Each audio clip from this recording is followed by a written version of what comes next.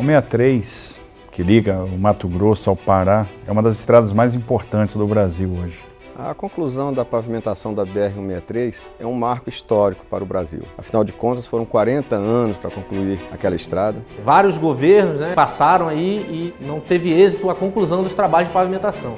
Essa promessa vem desde 1993 onde se falava da pavimentação da BR-163. A BR-163, que começou do nada, desbravou, populou a região, hoje ela se transforma num principal corredor de exportação da produção de grãos da região centro-oeste. Né? Nos últimos anos, principalmente com a grande demanda logística, né? ela fez surgir, principalmente nos, no, na, na época de chuva, sérios problemas de interrupção. Caminhoneiros ficaram ali da ordem de 8 a 10 dias, filas grandes de 40 quilômetros e tal. Estima-se que o Brasil, naquele momento, tenha perdido 2 bilhões de reais. Fazer 50 quilômetros era um dia para ir e outro dia para voltar. Tinha toleiro tão fundo que um caminhão tanque ele entrava dentro se do barranco pisava reto em cima do tanque. Eu cheguei lá com o general Santos Filho, que é o diretor-geral do DENIT, no domingo de carnaval, e aí o ministro chegou ali no, no, meio da semana, percorreu também, conversou com todos os caminhoneiros, e numa dessas conversas ele realmente fez essa promessa para os caminhoneiros que isso não iria mais se repetir. Né? A gente acha que nós vamos crescer 3 milhões de toneladas ao ano. A missão foi cumprida, graças também ao apoio muito grande do Exército Brasileiro e também das empresas, civis e soldados mostrando a força da união. Foi a maior experiência profissional que eu tive na minha vida. E a gente tem que render homenagem aos vários brasileiros que trabalharam ali naquela região para que esse sonho fosse possível. O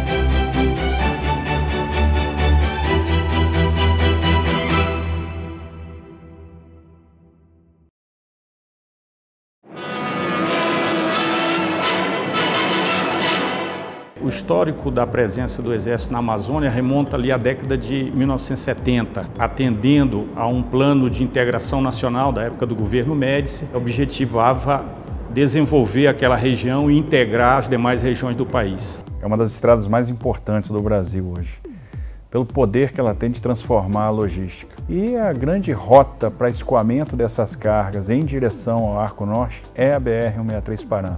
Daí a sua relevância econômica. Nós temos que dividir a BR-163 em dois segmentos.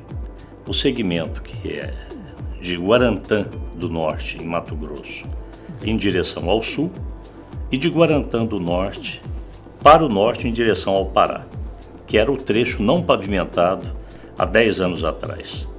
A BR-163 ela foi iniciado a abertura dela entre Cuiabá e Santarém na década de 70, na verdade 1970. Foram criados dois batalhões, o nono BEC em Cuiabá, Mato Grosso, e o oitavo BEC em Santarém, no Pará. O nono BEC, nono batalhão de engenharia e construção, no sentido norte, e de, de Santarém partiu o oitavo BEC no sentido sul. A BR foi aberta por esses dois batalhões.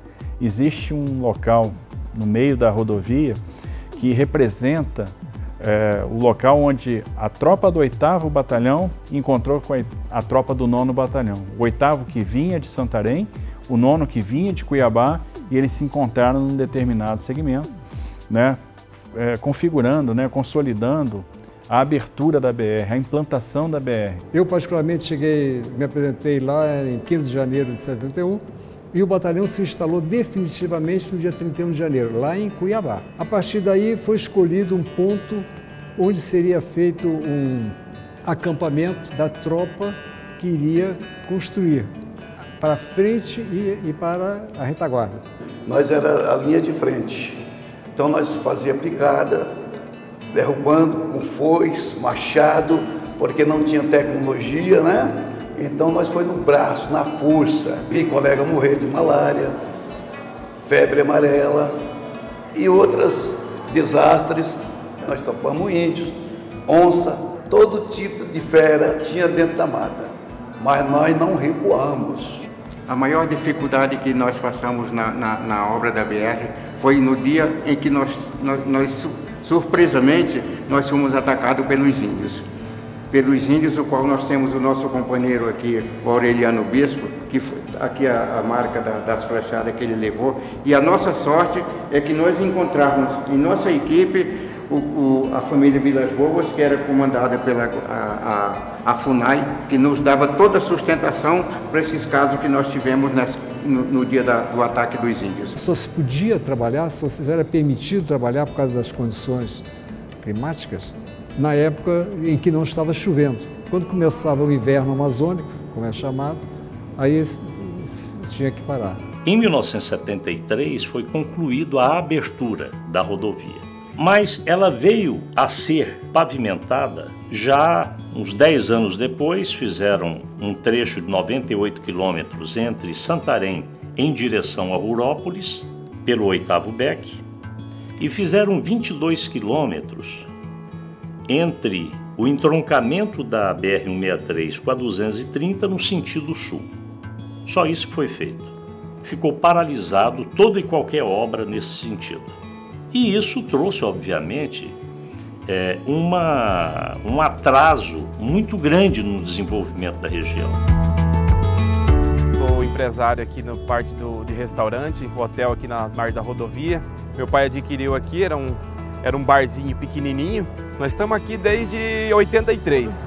E nós foi melhorando as coisas, melhorando, vimos que a rodovia era o futuro. Meu irmão do Paraná me trouxe para cá, ele achou que aqui era um bom lugar para a gente ganhar né, um dinheiro, trabalhar e, e aqui eu fiquei. Chorava muito no começo.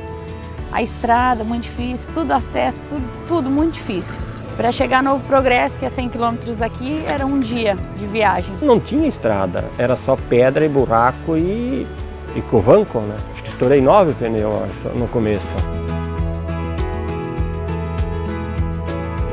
Você trabalha e a hora que você quer sair, você sai a hora que quer e volta a hora que quer. Não tem mais, como na época, antigamente, cheio de atoleiros, você ia, não sabia a hora que voltava, né? Hoje não, hoje você sai e volta daí daqui 50 quilômetros é meia hora para ir, meia hora para voltar. E aí você está em casa de novo.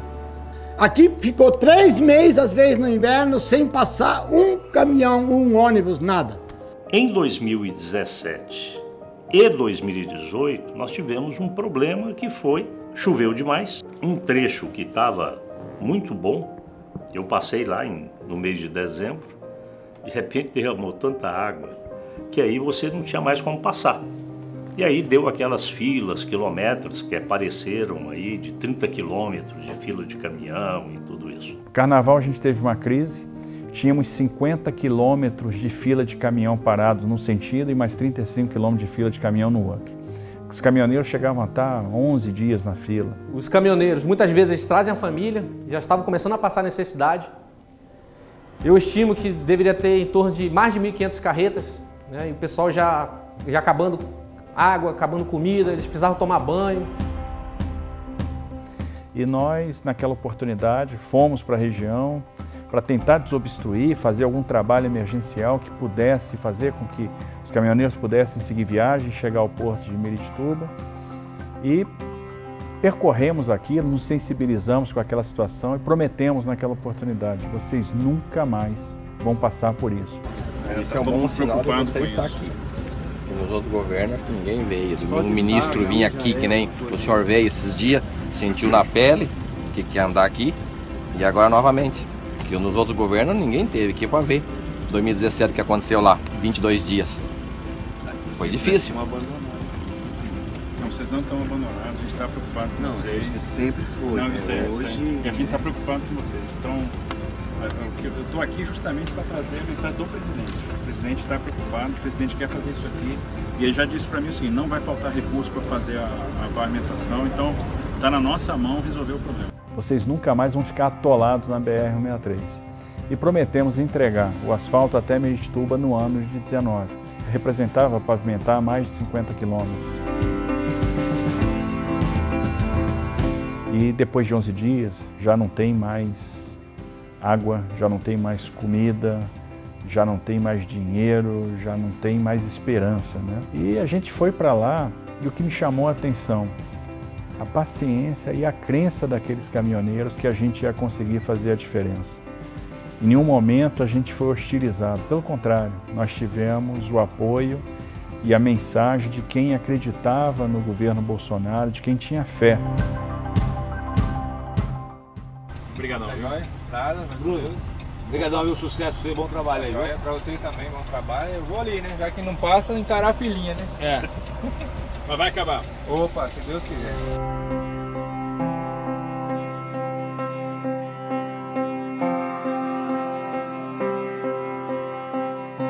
Inicialmente, a previsão de conclusão da BR-163 não seria agora para esse ano, seria mais à frente. Até porque o volume a se vencer, nas, construindo estradas no Pará, com as intempéries que nós temos naquele local, era um esforço muito grande para ser concluído em um ano. Então, a logística tem que ser muito bem planejada. Fazer obra na Amazônia sempre é um desafio. Chove muito, né? Chove a gente pega sete, oito meses de chuva por ano. Nós temos uma região onde se trabalha quatro meses por ano e a gente tinha que acomodar esses 52 quilômetros de pavimentação para quatro meses.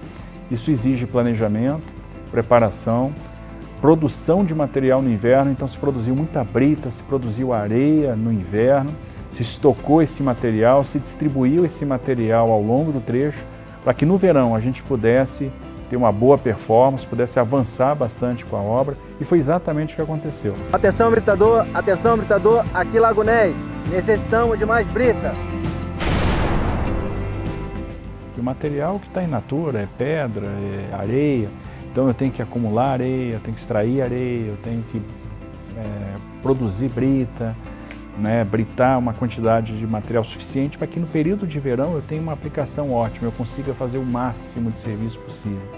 Nós estamos falando aí da ordem de 350 máquinas trabalhando ali diariamente e da ordem de 450 a 500 militares ali trabalhando diuturnamente nos sete dias na semana, 24 horas. Senão nós não teríamos chegado a, a bom termo porque na Amazônia você fala em termos de cronograma em verão. Não, você vai concluir essa obra em três verões, em quatro verões, que é o período de trabalho, normalmente do mês de junho a novembro. A pavimentação da Serra do Moraes foi um acontecimento que talvez fosse o trecho mais crítico da BR-63. E esse ano nós vencemos a Serra do Moraes. Então, algo histórico.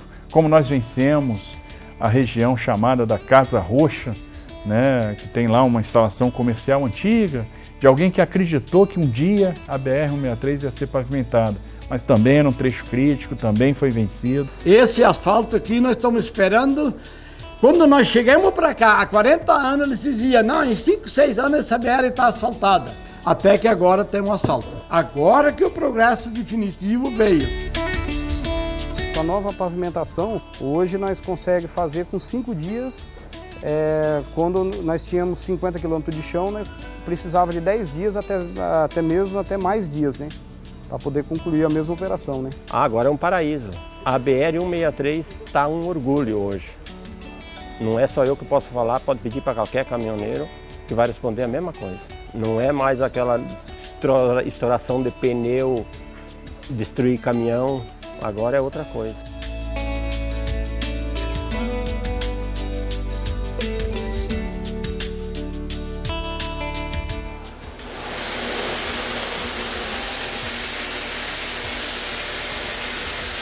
É, a gente tem um terminal flutuante, um transbordo de cargas, né?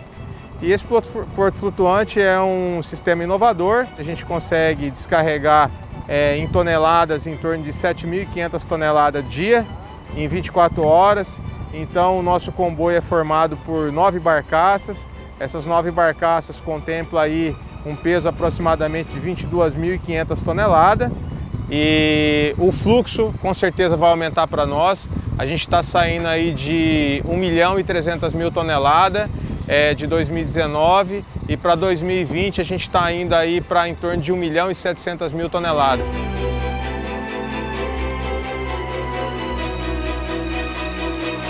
Digo e repito isso aos meus cadetes, que eu fui instrutor da academia.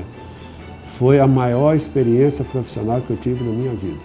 E olha que são 50 anos de exército. Nós conseguimos chegar no final do ano entregando aquilo que nós prometemos a, principalmente aos profissionais do volante, aqueles que usam a 163 para ganhar o pão de cada dia e para transportar as riquezas do Brasil. E aquilo era necessário, aquilo era uma dívida que a gente precisava resgatar e ela foi resgatada. A intenção dele era terminar o quanto antes aquela BR. E nos deu uma missão. A BR-163 tem que terminar esse ano.